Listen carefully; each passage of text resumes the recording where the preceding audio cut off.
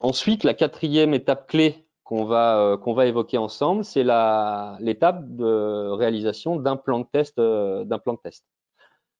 pareil, si on prend uniquement une certification CEM, ce plan de test est un document qui va vous permettre de structurer et de synthétiser l'ensemble des informations euh, qui concernent votre équipement.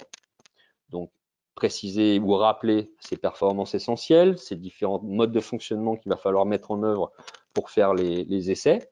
Les critères de défaut, quand on va venir agresser votre produit et, qu'on va vouloir voir comment il réagit. Et puis l'ensemble des moyens euh, de mise en œuvre et de contrôle qu'il va falloir déployer pour, euh, bah, respecter ces, ces préceptes-là. Et puis la deuxième chose que le plan de test va comporter, c'est évidemment les essais à réaliser avec l'ensemble des essais hein, de manière exhaustive et leurs spécifications, voire euh, leur, montage, leur setup.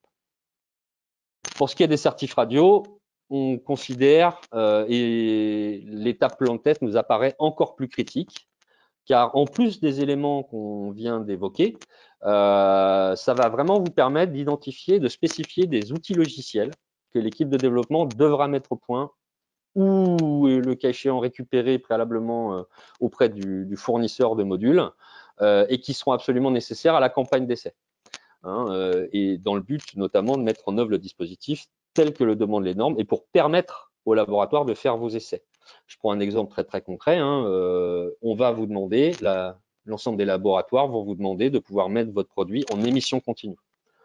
99,9% euh, des produits euh, radio n'ont pas vocation naturellement à émettre en continu. Sauf que, euh, de manière très pragmatique, hein, pour que le laboratoire puisse faire les essais, on aura besoin de mettre le produit dans ce mode de fonctionnement-là. Et ça va donc nécessiter un certain nombre de développements particuliers, spécifiques pour vous. Au travers de, cette étape plan test, on va retenir plusieurs choses. Donc, je viens, de l'évoquer, des logiciels de test spécifiques sont absolument obligatoires euh, pour que vous puissiez réaliser vos campagnes d'essai radio.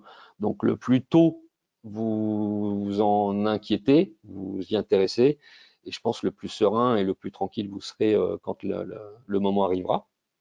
Et puis un petit point de détail aussi euh, particulier, c'est qu'outre l'intérêt technique et projet de réaliser ce plan de test, euh, ben, un plan de test formel va vous permettre aussi une évaluation euh, la plus objective qui soit pour euh, apprécier les stratégies et les, et les propositions des laboratoires de certification qui vous seront transmises.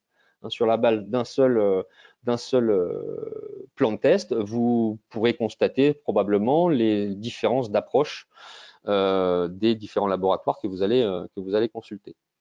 Donc on a on a conscience en fait, et on le voit euh, très régulièrement auprès de nos clients, on a conscience que cette étape, elle peut apparaître un peu comme un peu utile. Hein.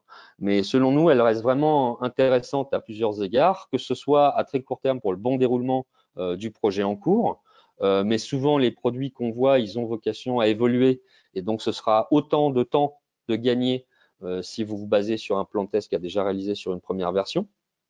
Et puis, au-delà de ça, euh, c'est aussi quelque chose qui va vous permettre, et au niveau société et au niveau collaborateur, de monter en compétence et de capitaliser sur vos expériences. Donc, par rapport à l'énergie à, mettre euh, dans la réalisation de ce, document, on pense vraiment que le, jeu en vaut la chandelle.